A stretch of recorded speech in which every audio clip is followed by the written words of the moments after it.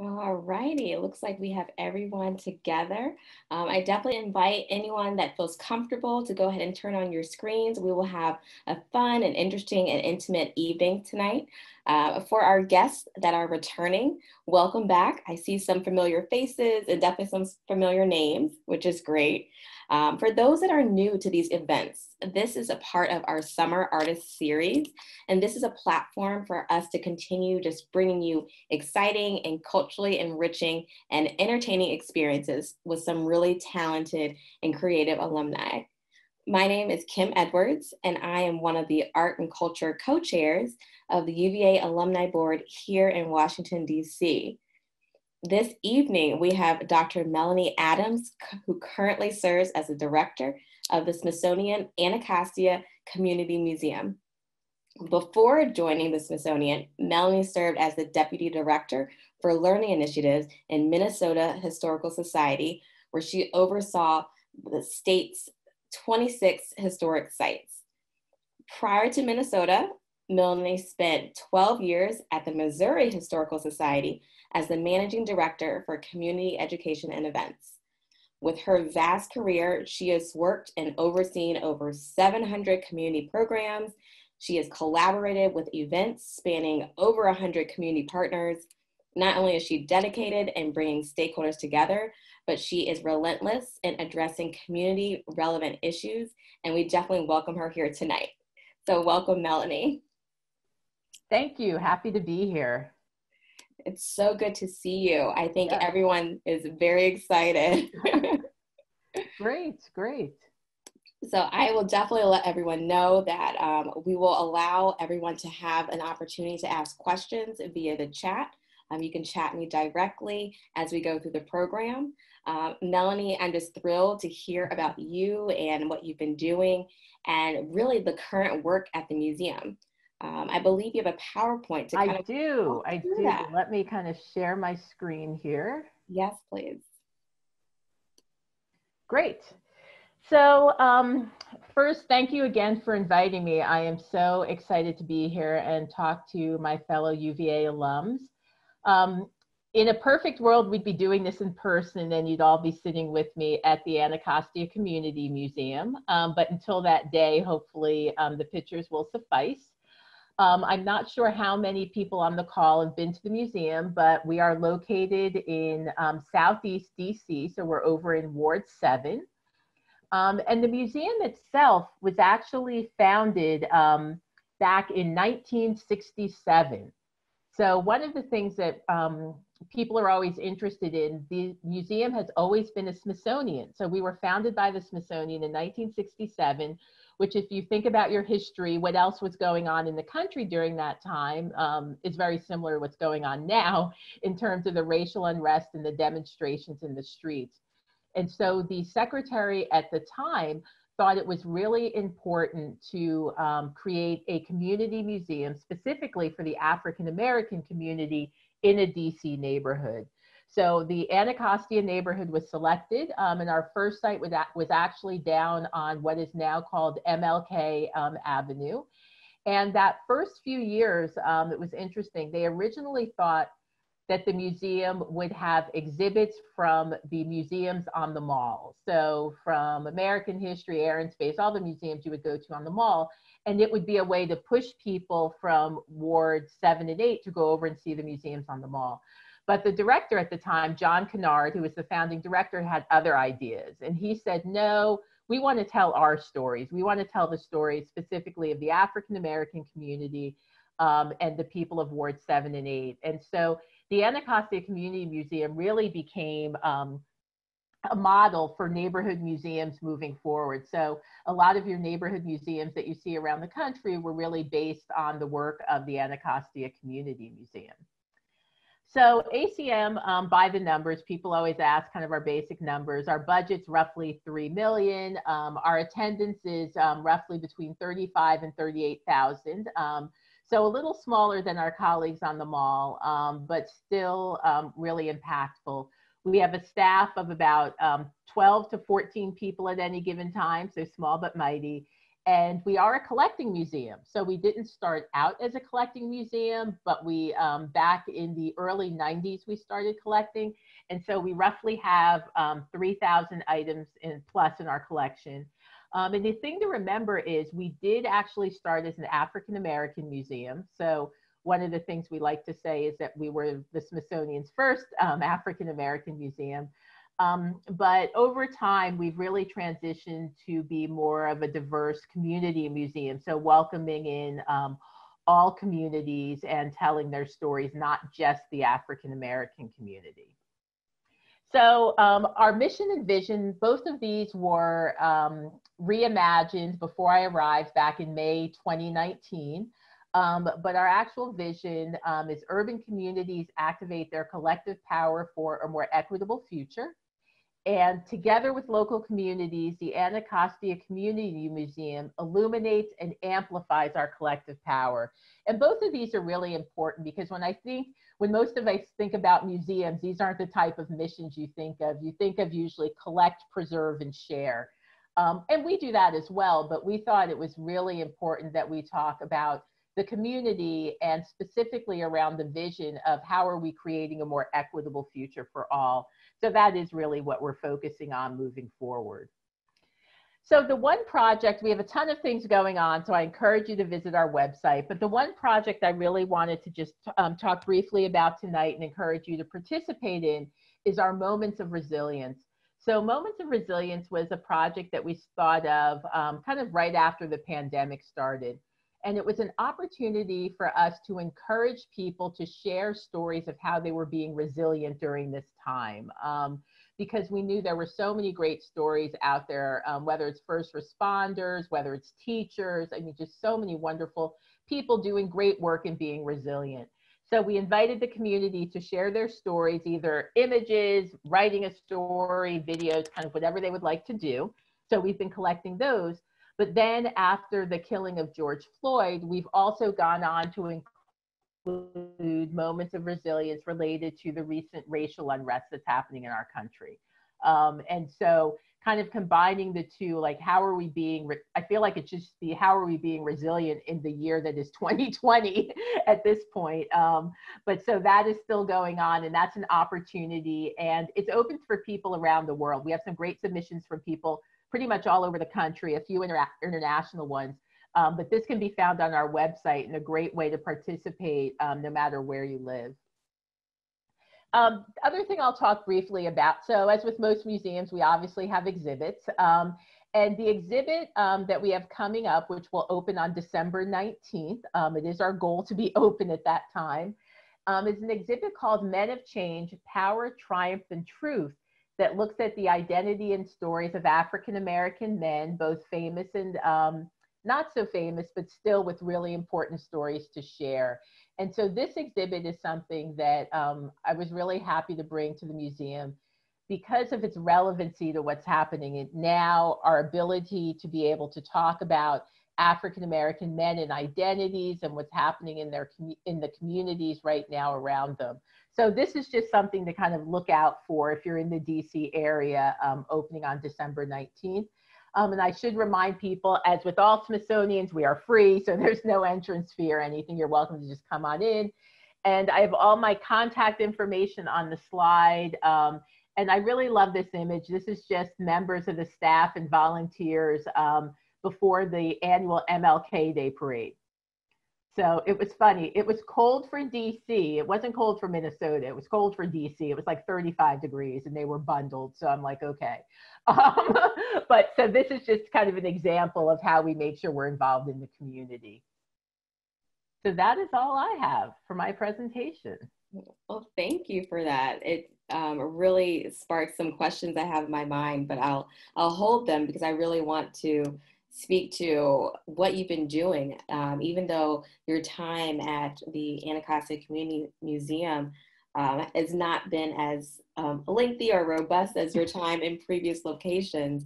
The work and the initiatives you've created are are excellent. Um, it seems like you've been able to create that sense of representation and amplification of individuals that are in the community, but also maintain that authenticity of history, right?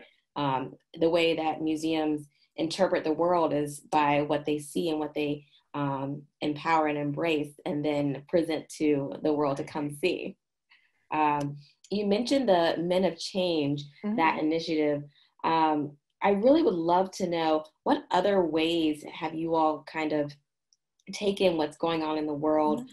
Both um, socially and um, financially, um, and been able to bring note to what is culturally relevant. Right. Well, and I think, you know, six months from now, no one thought we would be in this situation. So it's kind of new to all of us. Um, so I think after the first few weeks, you know, everyone's shocked that we're still at home. So we need to start doing stuff. Um, so we created actually a series called Take Time Thursdays, um, which is very similar. I think uh, before we started, we were talking about kind of these brief 30 minute programs that really were aimed at people just taking time for themselves. So these were really, um, I would call them light programs in the sense of it's things like it might be 30 minutes worth of yoga or it might be 30 minutes worth of deep breathing. We did some healthy eating. Um, we did something on the importance of family meals, but just an opportunity in the middle of the day, um, actually 2 to 2.30 or 2.30 to 3 to just have a you know some type of brief interaction we've had artists um, do a walkthrough of their virtual walkthrough of their gallery and such um, so that program has been going really well we're getting people again from all over the country signing on and so in response though to this moment in terms of what's happening and we really look at it as a dual pandemic and looking at the racial inequalities that have that covid-19 has exposed. We know they've always been there. Um, the, we started a program on Tuesdays called Inspire Action, which really focuses on, again, still only 30 to 45 minutes, but inspiring people to act on this information that they're learning. So these are looking at issues related to inequality. It could be food, it could be housing, it could be transportation, just all of these different topics related to inequality based on race. And so those programs, um, we just started those in July, so those are a little newer, but they're still being really well received. So I think those two programs, along with um, Moments of Resilience, is how we're really responding to this moment at the time. And one of the things I will like to add, so you know, I I get to build on the wonderful foundation and reputation of the Anacostia Community Museum, and so I always like to say, um, African American museums and community museums, we're not responding because we've always done this work. We have always done work around community, around issues of race, around issues of identity. So I hate when people make it sound like, oh, you're just doing this because this event happened. It's like, no, we do this type of thing all the time.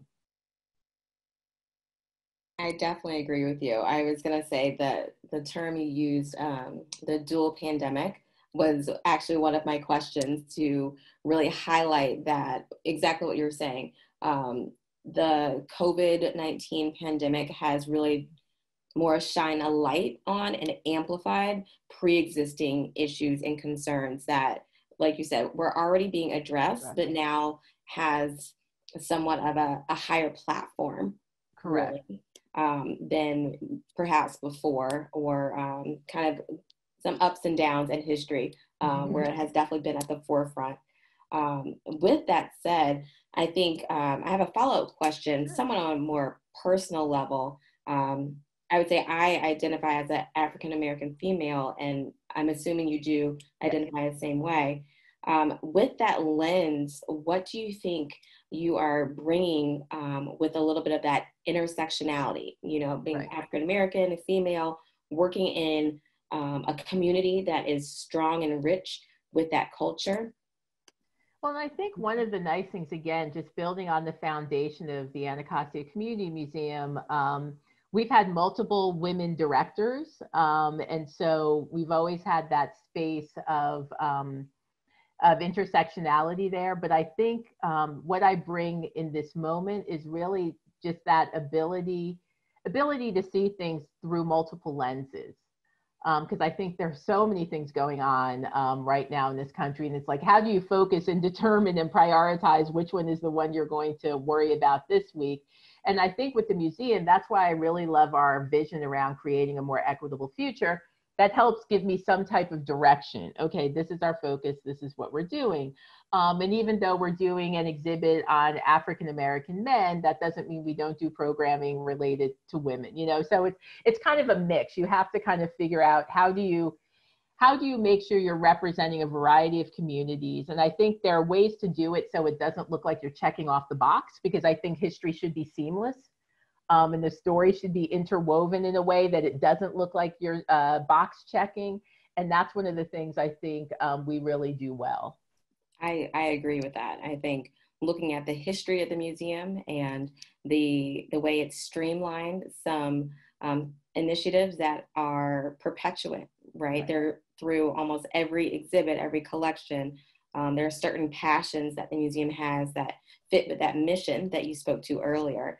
Um, regarding certain um, artifacts or collections, um, what is the way or the method to which you all determine what you will showcase. Right, and I think really, as with as with any museum, how you're collecting really should be based on your mission and vision.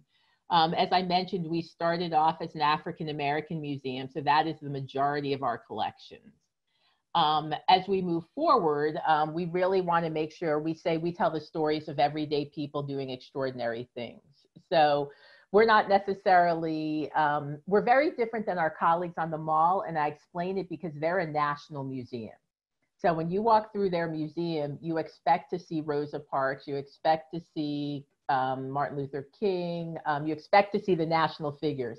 When you come to ACM, you're going to see the stories of the everyday people who made, whose change that they um, perpetuated was just as important, but they're not a household name. Um, so what we're looking at for our collecting moving forward is continuing that, but we're also looking at how are we collecting in this moment? Um, so that's really important to us. And so how are we collecting around the unrest that's happening on the streets um, throughout this country? And so we are slowly putting together a small project um, really to be able to reach out into communities. We're focusing specifically on the DC, Maryland, Virginia region, because that's where we're based, but reaching out to organizations and really partnering with them on the collecting process. Because um, one of the things I think sometimes people think we just run out and grab someone's sign and take it and put it in the collection. And that's not how it works. If you don't have the story, about, like it's more than just the artifact, it's really the story of the artifact and what story can that artifact tell. And so we want to make sure we're picking stories that 50 years from now, when people want to talk about the um, demonstrations or even the pandemic, we have the story, the people behind the numbers is really important. So it's not just this many people passed away, this many people got COVID, all of that. It's really these are the personal stories of the people and how they persevered during this time. Yeah, I think just to quote you, the people behind the numbers is a really excellent way to identify the why behind a piece and also how. So how it fits in with the the mission of the entire museum as well as the community right? And going back to its foundation. Um, we talked a little about the somewhat micro levels of mm-hmm. influence um, with some of the initiatives you already have in place. On more of a macro level are there any ways to which you all are gaining momentum on your programs or maybe pipelining um, young individuals into the field of, of preservation and history. Right. And I think, you know, I feel like, as you mentioned early on, I've only been there a year, and of the year, five months, I've been in my house. true. so, true. so I mean, I think, you know, we did have a few opportunities where we've had interns, but it's been virtual so I think we really haven't had the opportunity to do the mentoring and pipelining that we would normally do because um, we normally have fellows in the summer. So there are these opportunities, but the pandemic is making them obsolete, at least for this year. Um, but I think what's important, I think how we're going to help remedy that a little bit is the work that um, we'll do with school groups. I feel like that's really important. Because if you think about it, no one grows up thinking, I'm going to be a museum director. At most, they may think I'm going to be a curator. They may know what a curator is, but no right. one grows up thinking that. And so I think it's getting the idea in people's minds early um, that they can work at museums. And the other interesting thing is there are so many jobs in the museum, everyone thinks curator.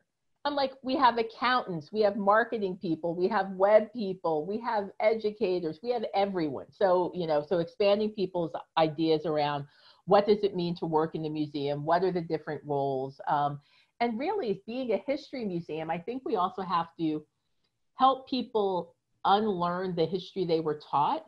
And I say, and it's getting better with each generation, but I have to say, you know, people always say, oh, I hate history. And it's like, well, let's unpack that. What do you mean you hate history? And what they meant was they hated memorizing dates and names and things like that. And it's like, so you don't hate history because you were really excited about this exhibit, or you can talk about history that interests you or directly relates to you. So I think that's the other um, obstacle we have to overcome, especially with our school age kids who are like, you know, they come and they're like, I hate history. But if you tell like something like um, Men of Change, when you tell them stories about African American men and Tuskegee Airmen and things like that, then they're like, wow, this might be more interesting than I thought. right, exactly. And I think even um, going back to what you said earlier about the speaker series and the Tuesdays and Thursdays, um, I know before everyone signed on, I was looking through it myself, and it's so robust and so diverse in the topics um, and the age groups to which it right. caters to, which I, I think is fantastic. So, like you said, that um, method of kind of getting people of all different facets and different backgrounds to contribute to a museum, the opportunity is there, right? right? And I think, and it's interesting because I think your question around how do you even get into this type of career? How do you think about it? And I must admit, um, you know, this is second career. The first um, 10 years of my career, I was in higher education student affairs. And part of that um, was because I was so involved at UVA um, in university union.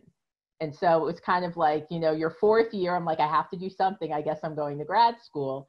So went into higher ed. But what I really learned while I was at UVA that um, I still carry with me today, which was really interesting, whereas I remember two classes. So I was an English and African American Studies class.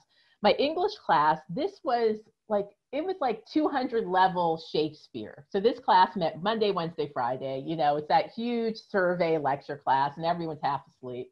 But once a week, the professor and his wife worked in the drama department they would come and do a scene from whatever play we were reading that week. Oh my. And it was great. Like the whole place was packed because everyone's like, oh, today's the day where they're going to do a scene. but so that got, in class. right. But that got people really engaged. So that was one exciting spot. But the other one was um, taking an African American literature course. And this was fourth year. So this was the upper level one. And I remember like the um, the scene, the class um, final was you essentially had to create some type of dramatic recreation of one of the books. Like so i'm so it's like all of this creativity in terms of how are we telling stories in creative ways versus just that traditional way that most people think and don't and that doesn't resonate with everyone. So i think uva just did such a nice job of showing me different ways to tell stories and different ways to engage with communities Yes, I I agree. Um, you made me laugh when you said that, but it's so true. It, I love your authenticity. I love it. Um, a question from Ray, if you don't mind me shouting sure. out Ray. Yeah. Um, Ray asks, do you have any recommendations for creatives, any artists or designers, specifically who want to be a part of these social movements and contribute to the historical preservation? But perhaps want to do okay. so in, you know, more of a, a, safer, less, you know, at the front line picket, you know, place. Right. Right. Um, and that's a um, really good question. We're actually, um, we're doing a four part program series around um, demonstrations and how to get involved in your community because I think when people think of demonstrating, the first thing they always think of is I need to have a picket sign out there on the front line and I have to admit, like I've never, I've attended, I think I've attended a march, but they're not necessarily my thing. That's not how I contribute. And what I like to tell people is, if you look at the civil rights movement, they needed people to cook for them. They need people to book the buses. They need people to make the signs. There are so many different roles, and especially now during this time of social distancing, we can really look at, you know, there are other ways to contribute to the social movement. It's writing letters to your legislators. It's all of these different things that don't um, that don't require you to be out in an unsafe environment. Um, but also, it uses different skill sets. Not everyone wants to march.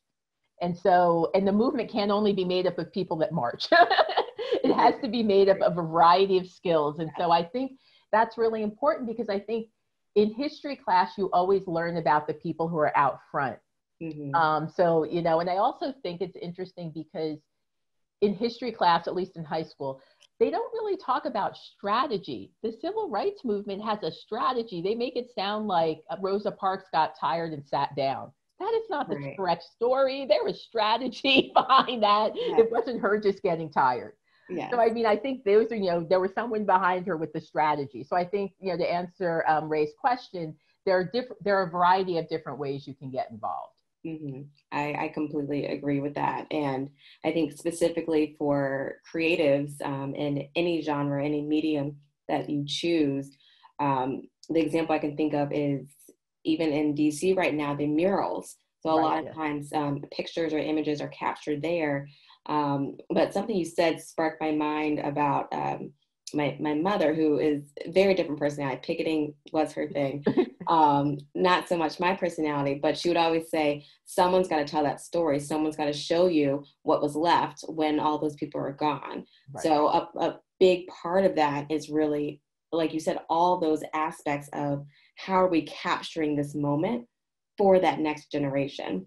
Right. It's documenting. I mean, there's some wonderful photography that's happening in the DC region. Um, so just so many different ways that it's being captured and i think you know these are one of the first times where and actually maybe more with ferguson when um, was things are now born digital. So you know it's like how do you save things like um, like twitter feeds and facebook accounts and things like that that are also another place where these stories are being shared?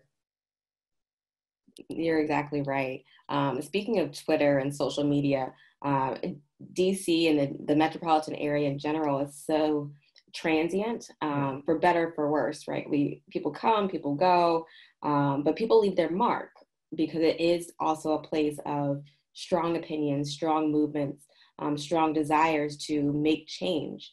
You know even the world right now is somewhat of a nation of change so to speak right. at this time. Um, how do you think that aspect of especially going from minneapolis to here um, changes or impacts a museum, especially a community museum. Right. Well, I think the big difference is when I look at my colleagues on the mall, they really get more of a tourist population. So if you're a tourist, you know, you are going to go to the museums on the mall. If you get to Anacostia, I always joke it's maybe your third or fourth visit to DC, and that's only because someone recommended it. Um, whereas I see with us, we have more repeat visitors in terms of just like you said, it's community members. It's people looking for our programs, looking for our space. Um, so we're more aimed at people who are not as transient because being exactly where we are, there are generations of people that lived in Anacostia, Barry Farms area. Um, so we're more grounded within, um, I guess, place versus our um, the larger national museums. It really is more for for tourists, or they get more tourists um, than we would get. Right. Right. Um, we do have a question from Becca, and I, I will let you answer because it's your show. Um, for the viewers, um, Melanie and I both are also neighbors, so we live right. in the same community. Um, right. so I suspect you have a lot of um, thoughts for this question that Becca wrote. Um, yes. So what, um, yeah. yeah. So what Becca is talking about, the Smithsonian um, launched a new race community and our shared futures initiative. Um, so this was announced probably about four weeks ago now. So we're still putting our, we're still putting some shape and definition around it. But essentially, um, the Smithsonian needs to be at the forefront of this national conversation on race that's happening. And so, how are we using our resources? And people, when you think of the Smithsonian, people only think of the museums and the panda. So there are a few more things than the museums in the panda that we love the panda. Um, but you know, there are research centers. We have centers all around the world. So how are we taking all of our resources to bear on this on such an important um, topic that's facing our country right now? And so ACM, luckily, we, we've always done programs related to race. I think, I like to think everything we do has some type of racial component. And so our contribution is really how are we contributing to the work that is already happening And in terms of new initiatives, um, we are looking at kind of looking at programming that will do up to 2026. So 2026 is the 250th anniversary of our country. And so I think everyone in the history world and probably museum world are thinking, how are we going to commemorate that? What is that going to look like? And I know for ACM, and this ties into our race, community, and shared future initiative, because we're really looking at something I'm calling um, Transforming America, which will be a five year project. Each year, we're focusing on a different year, um, a theme year related to racial inequality. So 2021, um, our focus is on food inequality. Um, 2022, I think we're probably going to do housing. Then we're going to have the environment. Um, we'll have education, um, and then we'll do mental health.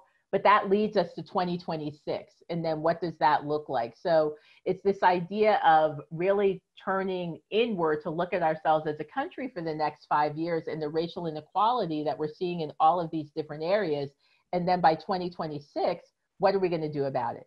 And I think the important part is you will never say, why, hopefully, you won't hear most people saying that we are celebrating the founding of our country. Because, you know, you have to think about, like, for what you call a celebration, other people don't see as much to celebrate about. Um, so that's why, at least I use the term, we're commemorating um, the founding of the country. Thank you. Thank you for that distinction too. Um, I think it goes within the same lines of when people say equality versus equity and the right. the deep rooted reasons for making that distinction, right? Mm-hmm. Um, I won't ask my next question because that was my next question of the long term, maybe five, six year plan of the museum, knowing that you all are, have quite a few initiatives um, that are going on currently, of course, virtually, but had started before um, the pandemic. So, well, and I think, mm-hmm. yeah, like one I just wanted to mention because it's not one that a lot of um, history museums, especially community museums, do is we do have a really robust environmental program. So we're going on 12 years now with our environmental program. And we are adding, um, we have two things that we've added. The first is we've actually added a CO2 monitor out in our museum property okay. to be able to talk about air quality in the DC region. And the nice thing about that, it's in conjunction with a PhD student at GW, but he's placed them all over the region. So it'll be really interesting as we start doing programs when you're able to tell the difference in air quality based on the ward you live in. And who do you think's air quality is probably a little worse? And what does that mean for underlying conditions and health and all of these different things? So that's really exciting. And the other thing is we're um, building a new community garden. So we have a small community garden bed, but I think, you know, we've been saying with everything that's happening, we want to build something larger. So we're going to have a larger community garden bed that we're going to um, begin working on this September. So that'll be great. And this will all be in conjunction with the new exhibit we're opening next summer called Food for the People, which looks yes. at food, history, culture, and justice in the DC mm-hmm. region. So all of this is building up to that new exhibit. That's fantastic. That was actually on my list, oh, my personal list of things to look out for, um, especially in this time um, where things are changing so much in this area. Um, I would actually expand it a little bit past Ward 7. I think Ward 7 and Ward 8, eight. specifically um, have been just on the forefront of commissioners, of philanthropists, of um, the horticultural, right. excuse me, horticulture. And I really think that speaking to educating, uplifting, and providing access to healthy food options in the area is just number one on the list of ways to really change and improve the lives of the community.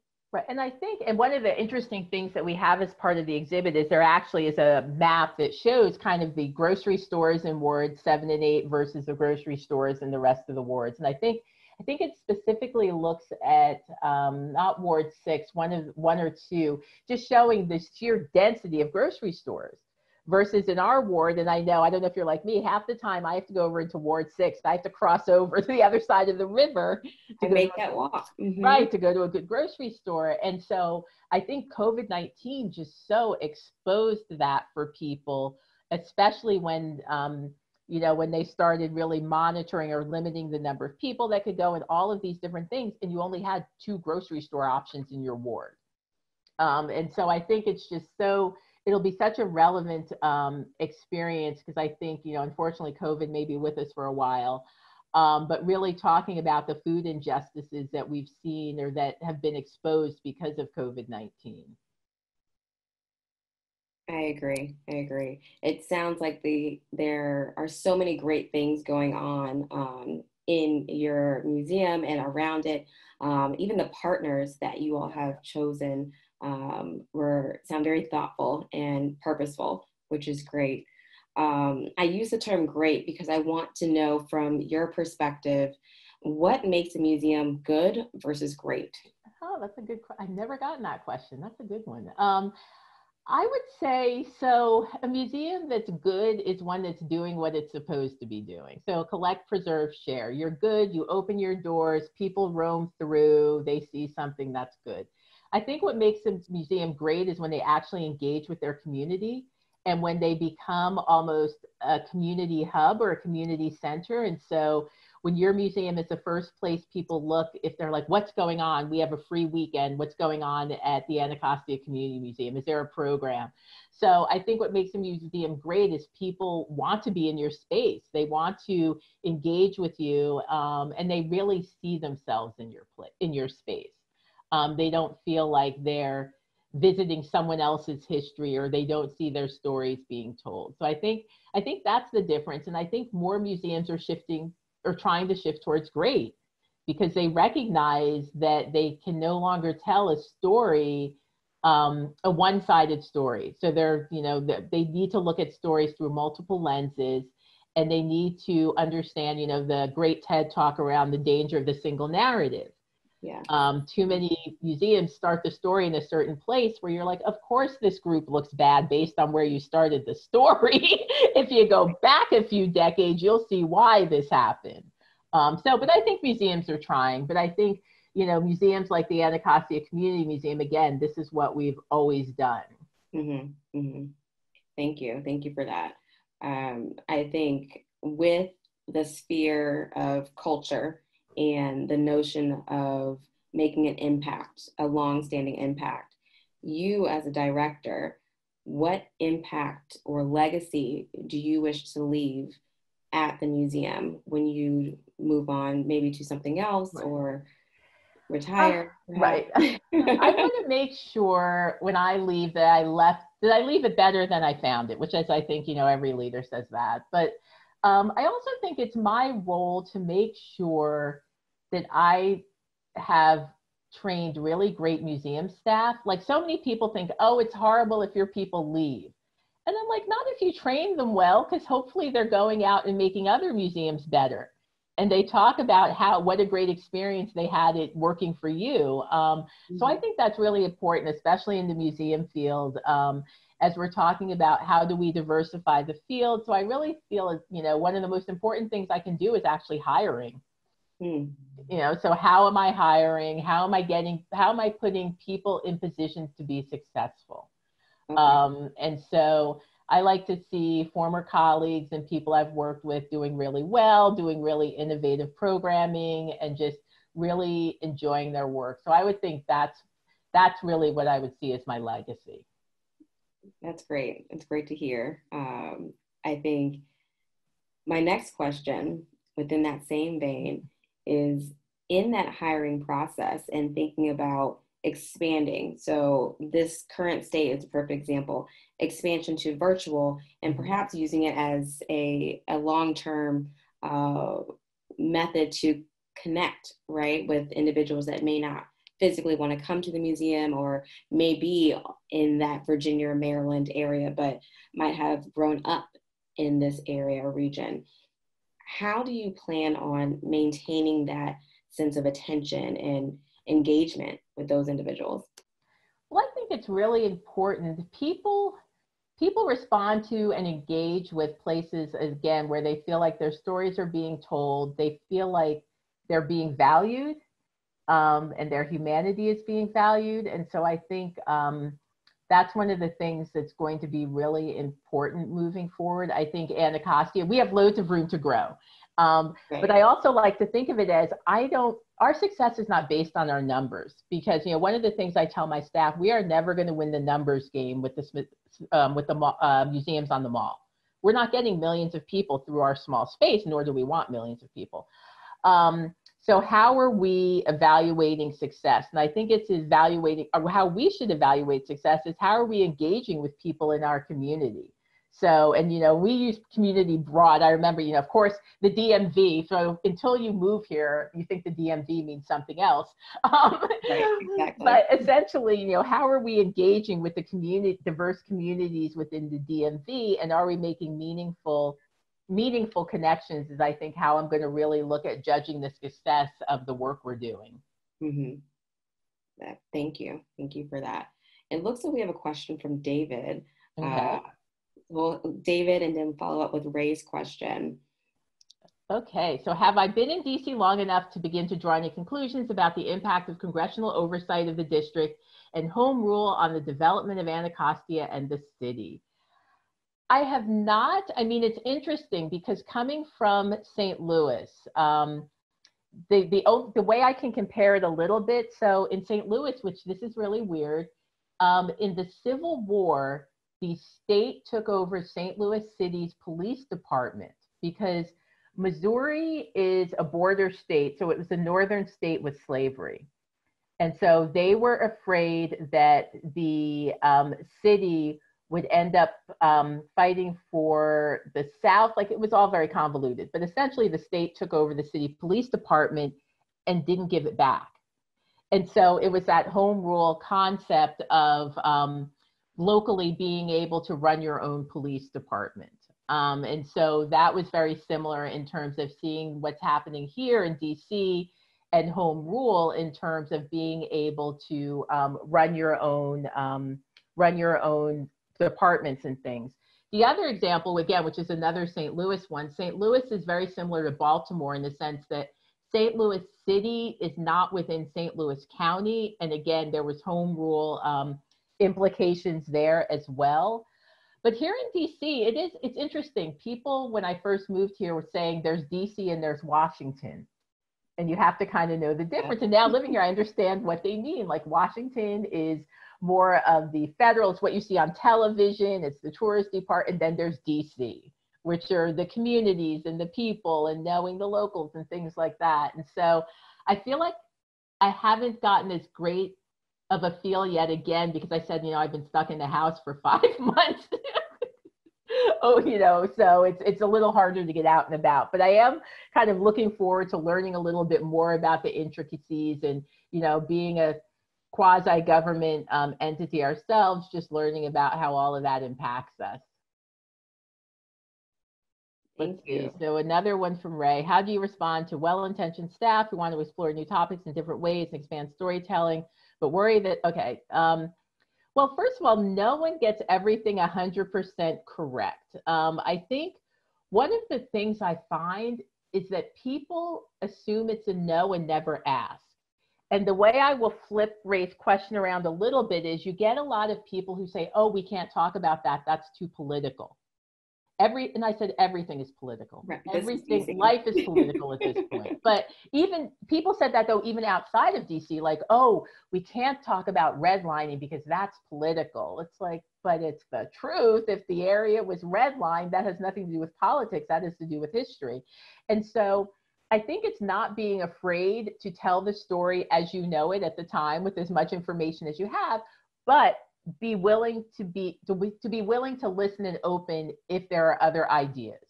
Um, but I think it's really important. You know, a lot of times when we're talking about museums, people have to acknowledge that people come to programs or exhibits with certain bias, and you admit those biases and you make sure you're learning through them. And if you're telling the story in a certain way, make sure you're talking to the right people. And I say that too many times museums told stories about people as opposed to with people. So how do you do an exhibit on like African American artists and not have any African American artists involved? Um, so it you know it goes back to I think you know one of your original questions around who's telling your story and who gets to limit themselves. But I think, you know, Ray is connect, it's correct. People do limit themselves out of fear or cancel culture, and they're so hesitant to do anything.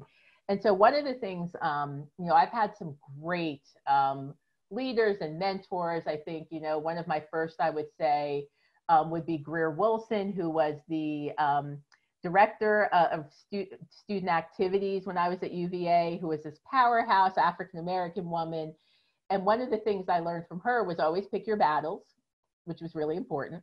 Mm-hmm. Um, but I think as I've moved on with other leaders, one of the things I feel is really important is, you know, I always, I used to joke with my staff. I haven't said this to this staff, but I've said it to others. You know, there are three things you need to tell me. Have you pissed off a board member? Have you hurt, harmed a child? Have you broken artifact? Those are the three things I need to know right away. Other than that, I kind of trust you. You know, so you know anything that you know that translates to anything that may be in the paper. You probably want to give me a heads up, um, because then it's easier for me to support you. Mm-hmm. You know, nothing is worse than having a microphone put in your face and they're like, you know, did you know your staff did this? And you're like, oh, they did. Okay, I guess we're figuring that out. But if I'm prepared, I know. So, you know, it's lines of communication and just being prepared for that. Thank you. That that's so true and great words of wisdom. I think it sounds like you have such great experience with different types of staff and different types of societies that you've worked in. I I would imagine working in the different places in the Midwest versus here lend themselves to different tackles or different um, challenges, so to speak. Could you name one or two challenges that you've encompassed or encountered here, aside from the COVID pandemic, right. that you did not expect when moving here? Well, I know it's interesting. I always could tell people this is like moving home since I went to UVA. So, you know, I'm used to the South and I'm from New Jersey, so I'm an East Coaster. So it was stranger to be out in the Midwest. And then when I moved to Minnesota, it was so funny. They're very adamant. They are not the Midwest, they are the upper Midwest. So, yes, everyone is so geographically sensitive, but yes, they are the upper Midwest. Um, and so I think it was just coming back here felt very natural, very normal. There was nothing, you know, and I think it's even, you know, Becca didn't know there were like, I feel like I'm surrounded by UVA alums like I think we were having this conversation before we even got on. When I was in the Midwest, when I would see a UVA t-shirt, I'd get all excited. I'd have to go chat with the person, all of this. Here, you can't do that because you're going to see one every third person. and so um, it really wasn't that much of a transition in terms of moving back to East. Great. Well, that is surprising, but it's good to hear. And I did not know you were from Jersey. I don't know how I missed that. yes, yes, born and raised. So. well, I think we have time for about two more questions. Okay. So we have Becca again. Let's mm-hmm. see. Mm-hmm. What do you think is um, ACM's role response in addressing or speaking to other forms of racism? For example, with COVID 19, there's been, oh, okay, yep, xenophobia towards Chinese people and Chinese Americans and Asians as a whole. And so, really, we're actually partnering. We have grants from APAC, which is our Asian Pacific American Center, as well as our Latino Heritage Center, where we're actually working with them on both um, on topics related to food insecurity and our food exhibit.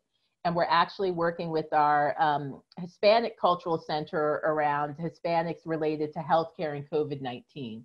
Um, so we do work closely um, with the other communities within the Smithsonian, but really, again, as we're trying to be a community-based museum, we really want to make sure we're talking to the experiences of the broad community and not focusing on one specific community. That makes sense. Thank you for that. And it's good to hear the, the broad spectrum of individuals and cultures and identities that you all are supporting. Yeah. Mm-hmm. One question I definitely want to ask, and on behalf of the group, if we want to be a part of the community mm-hmm. and may not live in the area, I know I'm very biased as I can walk there. Right. But for those that cannot, what are the best ways for them to either get involved if they have a more creative or um, artistic skill, or if they would like to support monetarily or with resources? Sure. Well, all of the information um, is on our website, so that's a great place to start. I would really also consider people, um, ask people to consider contributing stories to our moments of resilience. Again, that's another way you can um, find us online and contribute the story of how you are um, persevering during this time of COVID and the racial unrest. Um, and in terms of um, just supporting us, I think, as I've mentioned, we have a lot of great programs going on um, virtually. So I'd love for you to join those. And once we're able to actually meet up in person, I look forward to hosting um, the UVA Club at the museum. Um, I think that'll be another wonderful opportunity for us to all meet and see each other in person. So I look forward to doing that. Um, but yeah, I think um, there are many opportunities on our website. And since you mentioned donations, I do have to say there is this perception that we get all of our funding from the federal government, which we do not. We still have to raise money. Um, so thank you for that. That is a really important factor since we don't have um, admissions fees. Um, we rely on individual gifts um, as well as sponsorships. Well, thank you. And I always ask that question because I know that there are different ways people can support. And especially during this time, that might be the best way initially before people can get to the actual museum. So thank you for answering that. I think that we all, at least I can say for myself, had a great evening. Yes, um, thank you. It was wonderful. Yes. Thank you for your authenticity and for just enjoying our time together. Um, you are absolutely hilarious, and I appreciate that. You're funny. um, and just our overall experience in getting a better and deeper understanding of museums, of what you're doing, and especially the programs, some phenomenal programs that you have going on currently and upcoming. So thank you again.